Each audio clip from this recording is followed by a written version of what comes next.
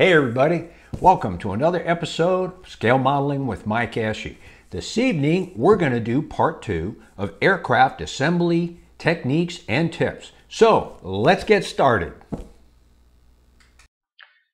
Clear plastic can be somewhat brittle, so it's best to cut them off their trees, leaving a small amount of the stub on the part. Once all the clear parts are cut off their trees, carefully snip off the remaining stubs. Here's an example of using snippers to cut off a tree stub.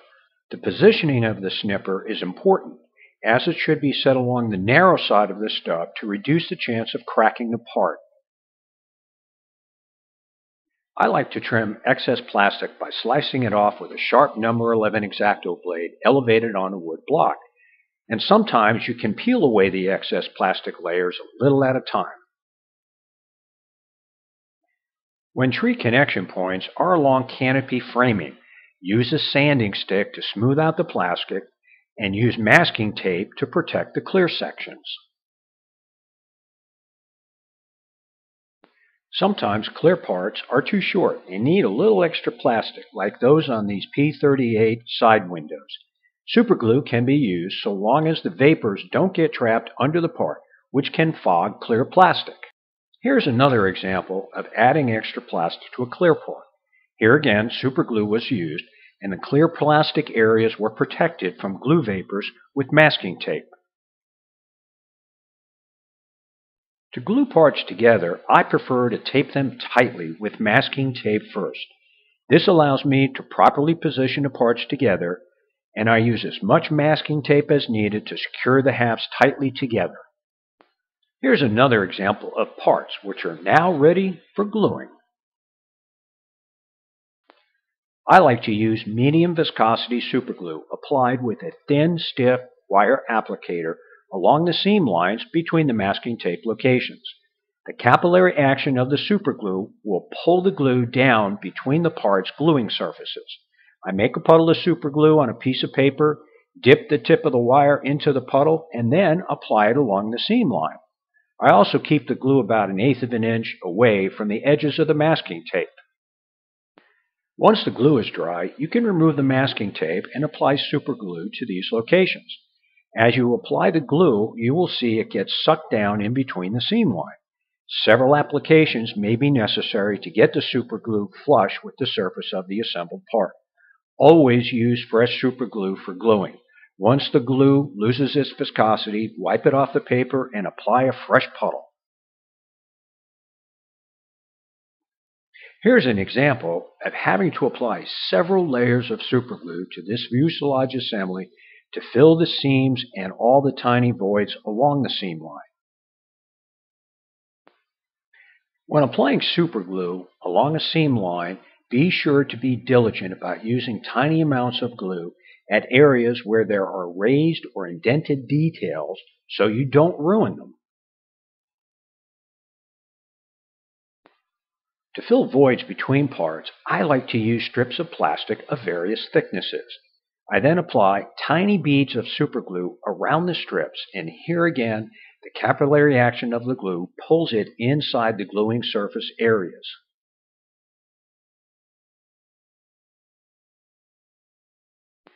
To fill the voids around the cowling to fuselage attachment on this assembly, I used a combination of superglue and strips of plastic.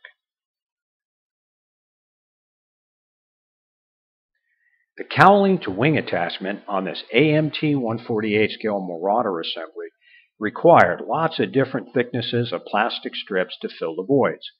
Using plastic strips to fill voids and attaching them with superglue creates very strong bonds between parts. Here's another example of using plastic strips and superglue to fill voids. Once the plastic is trimmed and sanded smooth, it will blend right into the surface. If you were to just use superglue to fill the voids here, the glue would eventually sag at the center area, marring your finished model. Even newer kits have void issues. This 132nd scale Dauntless is no exception. Using longer strips allows you to properly position them into place prior to gluing. And once the plastic is superglued around its entire perimeter, you can then trim them.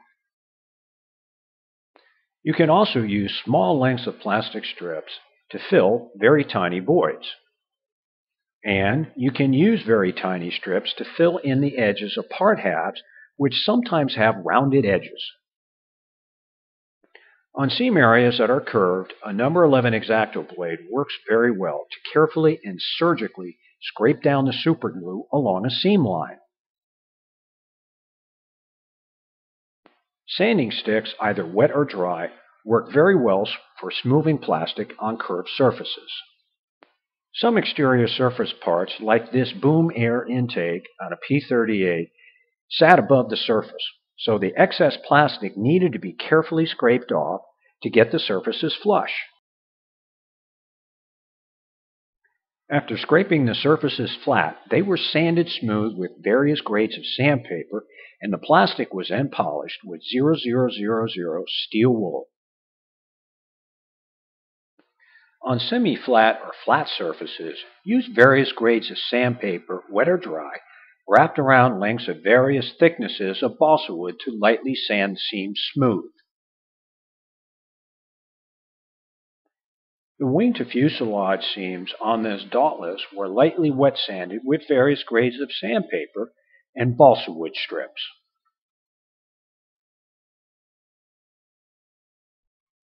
To protect surface detail, cover them with masking tape. Another benefit of using sandpaper wrapped around balsa wood strips is that it helps to limit surface detail damage. After initial scraping and sanding of the seams, I always use Testors enamel silver paint as a crack and flaw detector. I then apply additional coats of superglue to those areas that need it. Sometimes it takes several iterations of superglue and silver paint, and I always apply one final coat of the silver paint to be sure everything looks good. I like to use 0000 steel wool to polish the plastic and to remove silver paint. Steel wool pads are much better and they can be found on eBay. The steel wool also creates lots of very fine fibers, so cover all the part openings with masking tape and do the polishing on paper towels so the fibers can easily be cleaned up. Some voids are in very hard to reach places that are difficult to fill, like the underside of this MiG-3. In these cases, first airbrush flat paint primer around the area of the void. Apply a bead of white glue to the void with a stiff wire applicator. If the void is long, do the white glue filling in stages so the glue surface will stay wet. And remember, white glue sticks very well to flat paint. While the white glue is still wet, use a dampened Q-tip to contour the glue and remove any excess, and apply additional coats as necessary after each layer dries. Reprime the surface and check for flaws, apply more white glue, contour it, and then reprime it again. You can also use white glue to fill some types of open areas. The elevator fuselage connection on this 148 scale AMT Marauder is a good example. The left side has been filled, contoured, and primed, and now I'm working on the right side. To rescribe panel lines, use labeling tape, which is very flexible and it has a really nice edge. To start the process, I always redraw the lines that need to be repaired with a pencil.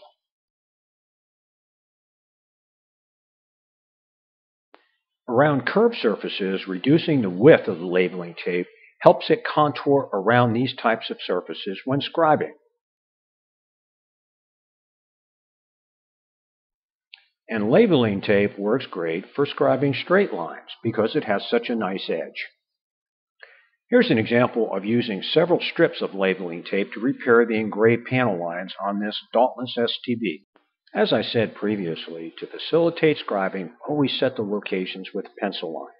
This allows you to check the individual lines' positioning along the surface and that the lines are also parallel with each other. I also use pencil lines to restore indented rivet detail. Here I am using a punch to slightly indent each rivet location. To duplicate the depth and diameter of the indented rivets, I used a very tiny diameter drill bit. The indentation set by the punch positioned the tip of the drill bit at each rivet location. Here's another example of using a punch to restore indented rivet detail. In this case, the rivet detail was shallow, so I pressed the punch a bit deeper into the plastic to duplicate the rivets. To smooth out the raised plastic around each indentation made by the tip of the punch, use 0000 steel wool pads to smooth out the surface.